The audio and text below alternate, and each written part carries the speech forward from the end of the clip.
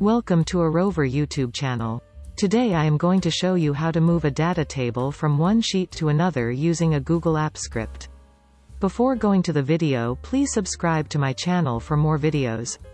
This is my sample data table. It is in sheet 1. So I want to move this table to sheet 2.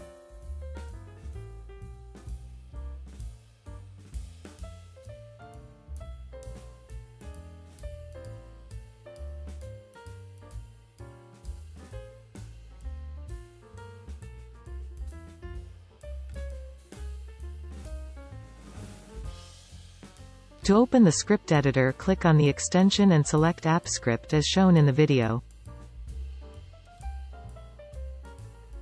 Once the script editor is open click on the plus mark and select the script and give a name to your script.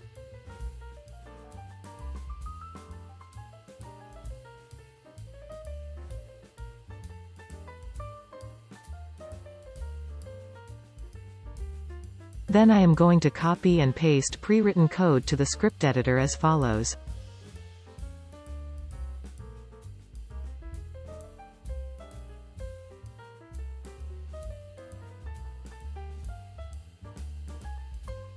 Click on the save icon to save the code and you can run the script.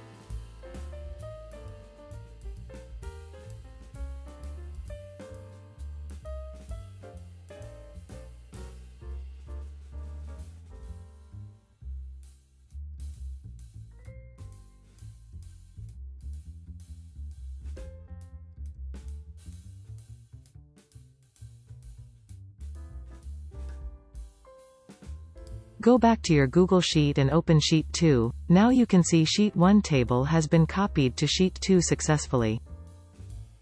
To add this code to a button you need to click on the Insert tab and select Drawing.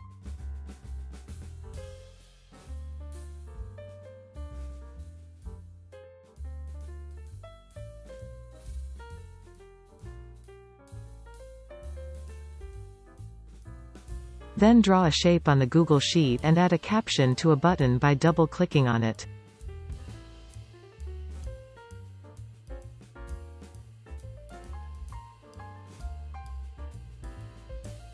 Please follow the steps shown in the video.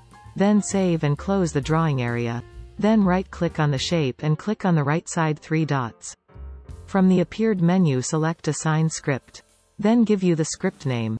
In our example script name is sendTable. Then click on the added shape and see whether it works or not. Here I works perfectly.